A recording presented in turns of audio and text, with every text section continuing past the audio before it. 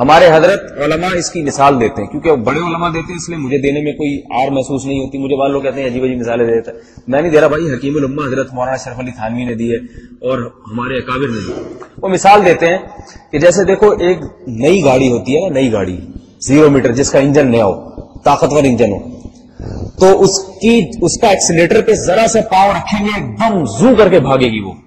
होता नहीं होता। लेकिन फुल स्पीड में जा रही है। ब्रेक पे जरा सा पाव रखेंगे, जिस स्पीड से जा रही थी, उसी से वो रुकेगी भी।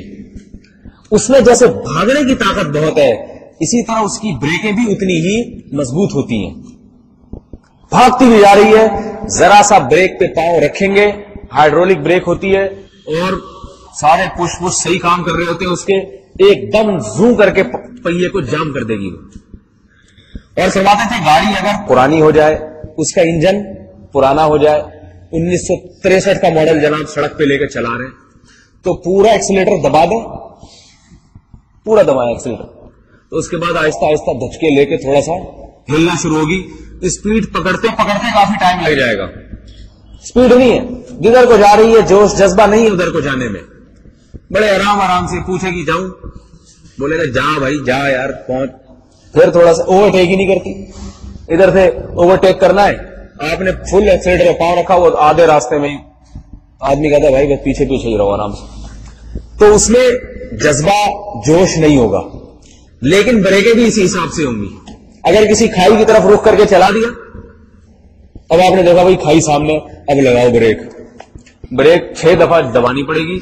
उसके बाद ही वो हिस्कोले लेते लेते ढीन खाई में जाके गिर जाएगी। या तो रुकेगी भी तो बिल्कुल करीब जाके आधा पहिया उसका खाई में, आधा जो है ना, वो बाहर बस अल्लाह ही बचाए उसको।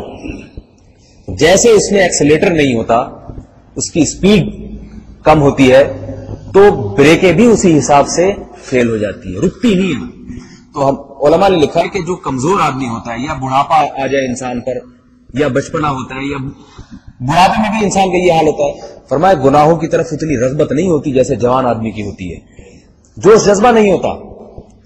लेकिन अगर थोड़ी सी भी रगबत उसके दिल में पैदा हो गई, जैसे कि इतना तो शैतान पीछे लगा रहता है ना थोड़ी सी भी, जवानी में उसको खत्म नहीं किया उसने। कुचल कुचल के जवानी में उन ख्वाहिशात का खून नहीं बहाया, बाकी छोड़ा उसने।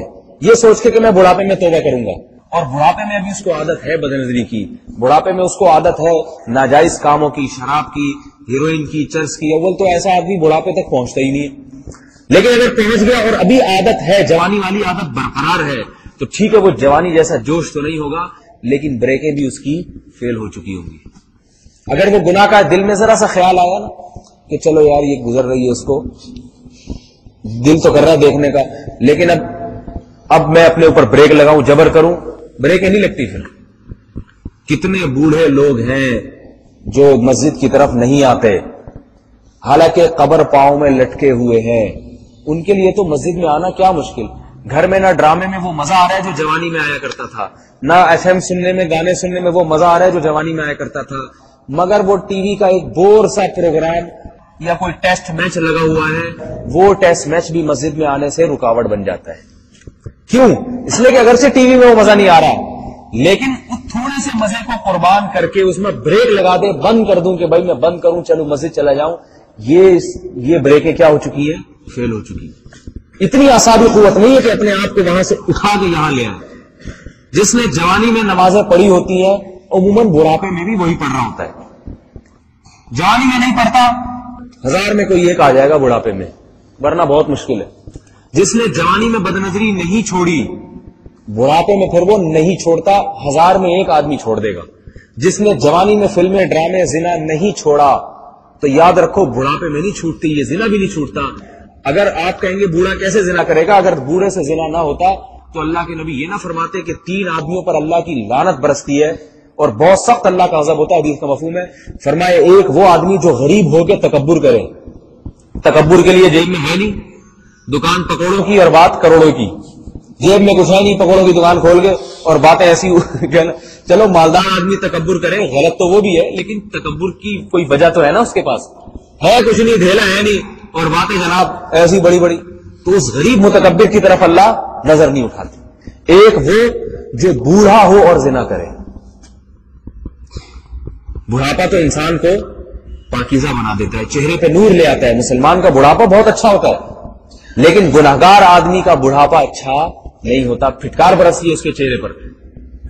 तो इससे पता चलता है कि बुढ़ापे में भी इंसान की रगबत जिना की तरफ़ होती है, तभी तो अल्लाह के नबी ने लानत और अल्लाह के गजब की वही सुनाई, अगर होती ही नहीं तो अल्लाह के नबी ये क्यों कहते हैं? आप तो फरमाते बूढ़ा है तो रगबत ही नहीं होगी। तो रगबत होती है और फिर थोड़ी सी रगबत को बर्दाश्त नहीं कर पाता। जवानी में जितनी ख्वाहिशात पैदा हो, वो कड़वा घूट पी जाता है उनका। अल्लाह ने आसाब ब्रेकें जो है ना, बड़ी मज़बूत होती है। बिल्कुल ऐसे ज़ीरो मीटर गाड़ी किस कदर स्पीड से भाग रही है, कोई नहीं कह सकता ये रुक सकती है। तो ड्राइवर कहता है, रोक के दिखाऊँ। एक ब्रेक लगाऊँगा, जहाँ है वहीं जाम हो जाएँगे इसके पहिए। तो तोबा को जो मुआखर करेगा ना तो याद रखो, अभी जितनी ताकत है जिसम में, हर आने वाला दिल कमज़ोरी कर रहा है इंसान को। बीमारियाँ लाक हो रही तो पहली बात तो यह कि गुनाह की ताकत बढ़ती चली जाएगी। गुनाह की रगबत बढ़ती, यानी लत पड़ जाएगी गुनाह की। आदत पड़ती चली जाएगी और तोबा मुश्किल होती चली जाएगी। इसलिए अक्सर व बेशतर तोबा की तोफीक नहीं मिलती, बुढ़ापे में नहीं मिलती। और अगर बिलफर्ज बुढ़ापा ये जब जब आ भी जाए, दूसरा एहतमाल यह कि को क्या यकीन है कि तोबा की तोफीक मिलेगी भी इतनी उम्र मिलेगी भी कि जिसमें मोहलत मिलेगी भी या नहीं मिलेगी? कितने वाकयात ऐसे नहीं गुनाह किया और मौत वाक़ हो गई। गुनाह किया, बल्कि एन गुनाह के दौरान मौत वाक़ हो गई। तो किसको ये जमानत है, मैं ये गुनाह कर रहा हूँ? इस, जब तक मैं फारिग नहीं हो जाऊँगा, गुनाह से दिल मेरा भर नहीं जाएगा तो उस वक्त तक मुझे मोहलत भी मिलेगी, अल्लाह तोबा की मोहलत देगा। ये किसी को यकीन है क्या? तो इसलिए मेरे भाई, ये बेवकूफ़ी और हमाकत। है